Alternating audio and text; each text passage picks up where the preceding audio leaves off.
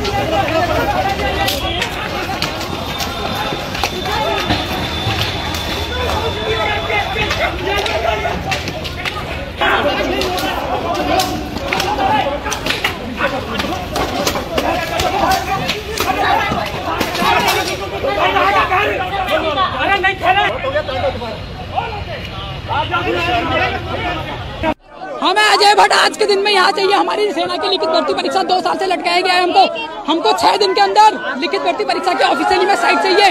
और अजय भट्ट या राजनाथ सिंह, आज के दिन में यहाँ आएगा, वरना हम नहीं उठेंगे यहाँ से चाहे हमारे ऊपर आत्मदाह करना पड़े हम आत्मदाह भी कर देंगे। हमको रक्षा राज्य मंत्री आज यहाँ चाहिए तो चाहिए, बस किसी भी हालत में आज ये तस्वीरें थी जो आपने देखी किस तरह से वहाँ पर अग्निपथ स्कीम के खिलाफ टीओडी के खिलाफ युवाओं ने आर्मी भर्ती की तैयारी कर रहे छात्रों ने विरोध प्रदर्शन किया।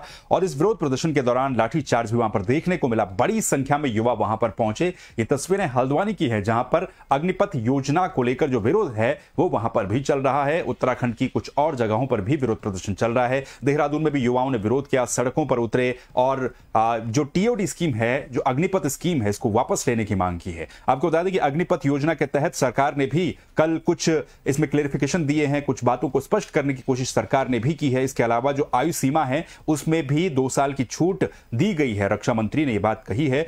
कि इसमें दो साल की और छूट दी दी गई, यानी कि साढ़े सत्रह से लेकर और तेईस साल तक इसकी उम्र की गई है, लेकिन वो भी एक ही साल के लिए। अब युवाओं का कहना यह है कि पिछले दो सालों से जो भर्तियाँ लटक रखी हैं, जो भर्ती निकल नहीं पाई है, उसका क्या होगा? और दो साल पहले जो लोग अपना फ़िज़िकल पास कर चुके हैं, उनका रिटर्न टेस्ट कब होगा? इसको लेकर भी जो युवा हैं, उनके मन में संशय है और इन्हीं तमाम बातों को लेकर देश भर में जगह जगह पर विरोध प्रदर्शन देखने को मिल रहा है। तो दूसरी तरफ़ अगर विपक्ष की बात करें तो विपक्ष भी इसको लेकर के सरकार पर निशाना साध रहा है। विपक्षी नेताओं का भी कहना है कि सरकार ने पहले तो सरकारी संस्थानों को खत्म करने की कोशिश की, तमाम जो सरकारी संस्थान है उनको प्राइवेटाइजेशन उनका प्राइवेटाइजेशन करने की कोशिश की और उसके बाद अब जो सेना है, जहाँ पर एक युवा को अपना भविष्य सिक्योर लगता था, सुरक्षित लगता था, वहाँ पर भी अब चार साल की स्कीम ला करके युवाओं के भविष्य को संकट में डाला गया है। सरकार के अपने तर्क हैं, सरकार का कहना है कि चार साल के बाद भी उन युवाओं का भविष्य अधर्म नहीं होगा, जो अग्निवीर के तहत इस योजना के तहत भर्ती होंगे। चार साल के बाद भी उनके लिए रोज़गार की संभावनाएँ खुलेंगी, अन्य जगहों पर उनको वरीयता दी जाएगी। उत्तराखंड के मुख्यमंत्री पुष्कर सिंह धामी का कहना है कि चार साल के बाद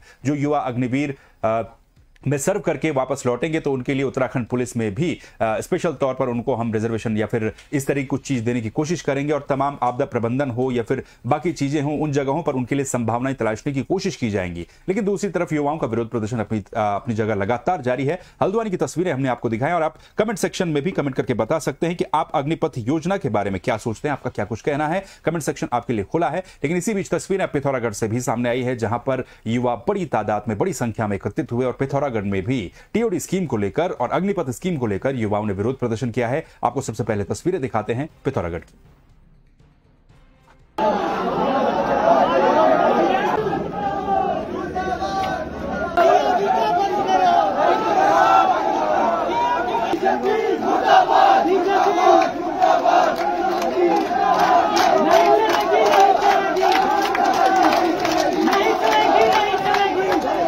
माता की भारत माता की ओवर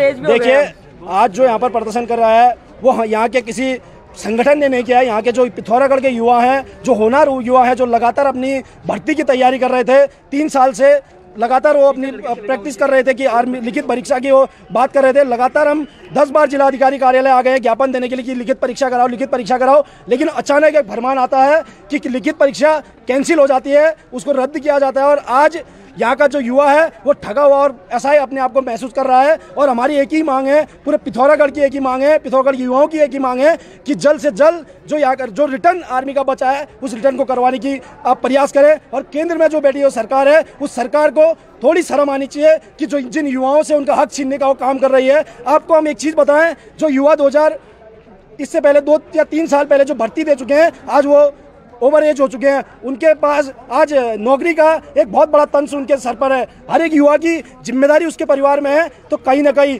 आज का युवा बहुत असहाय है। और इस युवाओं के साथ हम, प्रत्येक हम युवाओं के साथ हम खड़े हैं, और युवा कांग्रेस की तरफ़ से मैं आपको बता दूँ कि युवा कांग्रेस इनके साथ हर दम खड़ी रहेगी, और पिथौरागढ़ के युवाओं के साथ चलते रहेगी। तो सर जैसे आप सब लोगों को पता होगा कि टीओडी लागू हो चुकी है तो हमारे तो सर डेढ़ साल पहले हमारा फ़िज़िकल हुआ था और हम मेडिकल भी फिट थे लेकिन हम अब सरकार कहती है कि आप आप लोगों का रिटर्न कैंसिल कर दिया जाएगा। सर हमारे तो सपने चले गए अपने चले गए हैं। घर में हमारी माँ इंतज़ार में बैठी हमारी हमारी एक प्रदीप मेरा रोड में दौड़ रहा था तो हर कोई आगे आया "अच्छा, देखो लाखों लाखों प्रदीप मेरे हैं यहाँ पे देखो। हमारे लिए भी कोई आवाज़ उठाओ सर हमारे आँसू कोई नहीं देखता। लेकिन आप ये कहेंगे कि अब इससे भी उग्र हो सकते हैं। आगे हम अभी शांतिपूर्वक ढंग से तैयारी कर रहे हैं। हम इससे आगे और उग्र होंगे सर बस इतना कहना चाहूँगा। नाम क्या आपका? नाम रमेश पंत। सर हमें पिछले साल दो साल पहले हमारी भर्ती हुई थी और आज तक हमारा रिटर्न नहीं हुआ है। तो पिथौरागढ़ की ये तस्वीरें हैं जो आपने देखी। यहाँ पर भी बड़ी संख्या में युवा एकत्रित हुए और टीओडी के खिलाफ अग्निपथ स्कीम के खिलाफ यहाँ पर युवाओं ने अपना विरोध प्रदर्शन किया।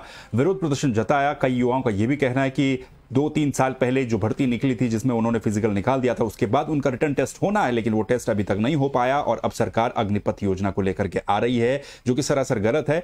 हर जगह पर सिर्फ़ उत्तराखंड की ये तस्वीरें नहीं है, ये तस्वीरें आपने हल्द्वानी और पिथौरागढ़ की देखी हैं, पूरे देश भर में इसी तरह से विरोध प्रदर्शनों का दौर जो है, वो लगातार चल रहा है। अगर हम बात करें बिहार की तो बिहार में कई ट्रेनों को जला दिया गया प्रदर्शन के दौरान, कई जगहों पर आगजनी की गई, पथराव भी किया गया है, कई पुलिसकर्मियों को चोट भी आई है, नोकझोंक लगातार चल रही है। मध्य प्रदेश की भी यही स्थिति है। इसी तरह से तेलंगाना में भी यही स्थिति है। पश्चिम बंगाल में भी कई जगहों पर यही देखने को मिल रहा है। हिमाचल प्रदेश उत्तर प्रदेश, हरियाणा और तमाम जगहों पर इसी तरह से विरोध प्रदर्शन देखने को मिल रहा है। अग्निपथ स्कीम को लेकर के कल सरकार ने यह भी कहा था कि अग्निपथ स्कीम में कुछ हम स्पष्ट करना चाहते हैं। वो तमाम बातों को स्पष्ट करने की कोशिश की गई है। चार साल के बाद किस तरह से स्थितियाँ रहेंगी इन युवाओं के लिए जिनको अग्निपथ योजना के तहत भर्ती किया जाएगा। और इसके अलावा जो आयु सीमा है, उसमें भी छूट देने की बात की गई है। तो तेईस साल अब आयु सीमा को कर दिया गया है इसमें, लेकिन वो भी एक साल के लिए रहेगा। लेकिन उसके बावजूद भी ये जो विरोध प्रदर्शन है, वो लगातार चल रहे हैं। कई जगहों से विरोध प्रदर्शन की खबरें जो है, वो लगातार सामने आ रही तस्वीरें भी हम आपको दिखा रहे हैं।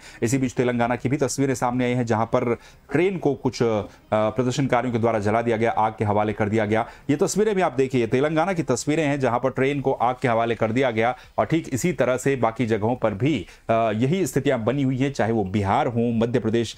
बिहार, मध्य प्रदेश और उत्तर प्रदेश की अगर बात करें तो इन जगहों पर अधिक संख्या में जो प्रदर्शन है, वो लगातार चल रहा है और हिंसक भी कई जगहों पर यह प्रदर्शन हुआ है। जो सेना की तैयारी करने वाले युवा हैं, उनका कहना है कि टीओडी को वापस लेना चाहिए, अग्निपथ स्कीम को वापस लेना चाहिए। इससे जो युवाओं के रोज़गार हैं, उसमें कमी आएगी और चार साल के बाद युवा क्या करेंगे? हालाँकि सरकार के अपने तर्क हैं। सरकार अपनी तरफ़ से फैक्ट्स जो है, वो लगातार जारी करके युवाओं को मनाने की कोशिश कर रही है, लेकिन दूसरी तरफ़ अग्निपथ स्कीम को लॉन्च हुआ अभी दो से तीन दिन का ही वक्त हुआ है, जब रक्षा मंत्रालय ने इस स्कीम को लॉन्च किया। लेकिन उसके बाद जो विरोध प्रदर्शन है, वो लगातार चलते आ रहे हैं। कमेंट आप कर सकते हैं, अतुल बिश फेसबुक और कमेंट कर रहे हैं, कह रहे हैं कि क्या बीजेपी सरकारी नौकरी खत्म कर रही है? देखिए, युवाओं का कहना यह है कि उनकी नौकरियों को लगातार खत्म किया जा रहा है। एक संशय युवाओं के मन में है जिस तरीके से इससे पहले कई जो सरकारी संस्थान है, उनको प्राइवेट किया गया और उसके बाद चाहे हम एयर इंडिया की बात करें या फिर बीएसएनएल की बात करें या फिर तमाम जो शिक्षण, तमाम जो संस्थान है बैंकिंग की हम बात कर लें रेलवे सेक्टर की बात कर लें, ये कुछ ऐसे सेक्टर हैं जहाँ पर बहुत बड़े पैमाने पर रोज़गार जनरेट होते हैं, बहुत बड़े पैमाने पर रोजगारों का सृजन होता है और इन तमाम जगहों पर, इन तमाम सेक्टरों में पिछले लंबे समय से जो रोज़गार है, जो भर्तियाँ हैं, उनमें गिरावट दर्ज की गई है। लगातार जो भर्तियों की संख्या वो या तो कम हुई है या तो ना के बराबर हो गई है। ऐसे में जो डिफेंस सेक्टर एक ऐसा सेक्टर है जिसमें लगातार हर युवा तैयारी करता है सेना में भर्ती होने की और उस तैयारी के लिए दो तीन साल वो अपने खपा देता है और उसके बाद अब युवाओं के मन में संशय ये है कि इतनी मेहनत करने के बाद जब उन्हें सिर्फ़ चार साल की नौकरी मिलेगी तो उस नौकरी का क्या औचित्य रहेगा? तो वहीं दूसरी तरफ़ सरकार का कहना यह है कि जो सेना की औसत एज है उसको कम करना एक्सपेंसिस को कम करना, ज़ाहिर सी बात है कि अग्निपथ योजना को लॉन्च करके जो वेतन पर, भत्तों पर और पेंशन पर जो खर्चा होता है, उसको बचाने की एक तरफ़ से कोशिश की जा रही है। लेकिन युवाओं का कहना यह है, जो प्रदर्शन हर जगह पर युवा कर रहे हैं, उनका कहना यह है कि नेताओं के लिए इस तरह की स्कीम पहले बनाई जाए, जहाँ पर उनकी पेंशन को खत्म किया जाए, उनके तमाम जो उन्हें फैसिलिटीज़ मिलती है, जो भत्ते मिलते हैं, उनको खत्म किया जाए। युवाओं के ही हक पर इस तरीके का डाका क्यों डाला जा रहा है? तो विरोध प्रदर्शनों का दौर लगातार जारी है और हल्द्वानी की भी तस्वीरें आप एक तरफ़ देख रहे हैं, जहाँ पर युवा सड़कों पर उतरे थे, टीओडी का विरोध करने के लिए, अग्निपथ स्कीम का विरोध करने के लिए, लेकिन यहाँ पर लाठीचार्ज भी हुई है, कुछ युवाओं को गिरफ़्तार भी किया गया है और लाठियाँ भी यहाँ पर भांजी गई हैं। पिथौरागढ़ में विरोध प्रदर्शन चला, लेकिन वहाँ पर लाठीचार्ज की कोई खबर सामने नहीं आई थी। वहाँ पर सिर्फ़ युवा बड़ी संख्या में एकत्रित हुए, विरोध प्रदर्शन किया। देहरादून में भी ठीक यही तरह की स्थितियाँ बनी हुई है, जहाँ पर विरोध प्रदर्शन किया जा रहा है युवाओं का और देश भर की अलग अलग जगहों पर तस्वीरें भी सामने आ रही हैं। लेकिन बिहार की अगर हम बात करें तो सबसे ज़्यादा हिंसक जो प्रदर्शन देखने को मिल रहे हैं इस वक्त, बिहार में देखने को मिल रहे हैं। बिहार के अलावा मध्य प्रदेश की कई जगहों पर राजस्थान में विरोध प्रदर्शन हो रहे हैं। यहाँ पर हिंसक प्रदर्शन कई जगहों पर देखने को मिले हैं, जहाँ पर ट्रेनों को जला दिया गया। बिहार में काफ़ी सारी ट्रेनें जो है वो इससे प्रभावित हुई है। उनके शेड्यूल्स में परिवर्तन किया गया है तो इसी तरह का प्रदर्शन इन जगहों पर भी चल रहा है। तो अग्निपथ योजना का विरोध अब देश भर में शुरू हो चुका है। देश भर में विरोध प्रदर्शनों का दौर चल रहा है। वहीं दूसरी तरफ़ सरकार के अपने तर्क हैं। सरकार का कहना है कि इस योजना के तहत सेना को मॉडर्न करने की कोशिश की जा रही है। इसका सीधा सीधा फ़ायदा सेना को भी मिलेगा, देश को भी मिलेगा और युवाओं को भी मिलेगा। तो ये विरोध प्रदर्शन लगातार किए जा रहे हैं। पक्ष विपक्ष का दौर अब शुरू हो चुका है। एक तरफ़ विपक्ष लगातार सरकार पर निशाना साध रहा है। राहुल गांधी का वो ट्वीट भी काफ़ी ज़्यादा वायरल हुआ, जिसमें उन्होंने कहा था कि नो रैंक, नो पेंशन और अब नौकरी भी आपने खत्म कर दी तो इस तरीके के ट्वीट राहुल गांधी ने किए थे। इसके अलावा भी विपक्ष के जो तमाम नेता हैं, वो भी लगातार सरकार पर निशाना साध रहे हैं टीओडी को लेकर और अग्निपथ स्कीम को लेकर। एक बार फिर से आपको तस्वीरें दिखाते हैं हल्द्वानी की, जहाँ पर विरोध प्रदर्शन युवाओं के द्वारा किया गया और उसके बाद वहाँ पर लाठीचार्ज कर दी गई युवाओं के ऊपर।